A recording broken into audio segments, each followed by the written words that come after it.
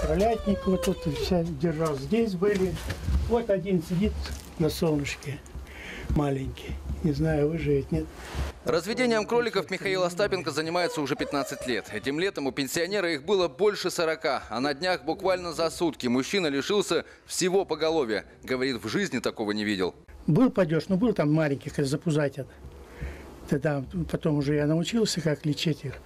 А вот этот такой резкий падеж, желательно вечером кормлю нормально, утром захожу, лежат. Мужчина уверен, живность погубил вирус, но какой именно, он не знает. Среди заводчиков информация о массовом падеже кроликов входит с начала лета. Животные уже погибли в Тасеевском и Дзержинском районах. Добралась зараза и до окрестностей Канска. Михаил Михайлович говорит, выбрасывать тушки нельзя. Употреблять такое мясо в пищу тем более. Остается только одно – сжигать в собственном огороде. Там они все, вот внизу. Сейчас.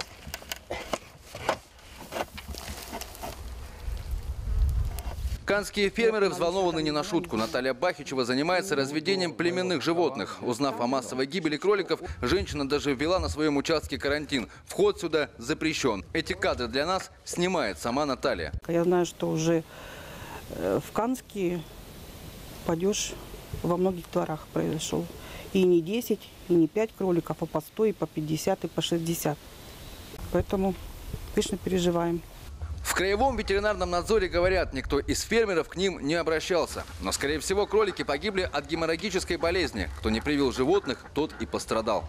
Ну, основная такая массовая болезнь кроликов, это называется навирусная геморрагическая болезнь кроликов. Это ее профилактика заключается в проведении своевременной вакцинации. Сейчас э, специалисты Госветслужбы города Канска занимаются уточнением ситуации по болезням кроликов, обследуют те хозяйства кролиководческие, ну и по результатам будут проводиться мероприятия. Стоит отметить, что эта болезнь не опасна для человека и других домашних животных. А вакцину от вируса можно найти и заказать в любом государственном ветеринарном отделе. Леонид Юрков и Александр Шумилин. Енисей. Новости.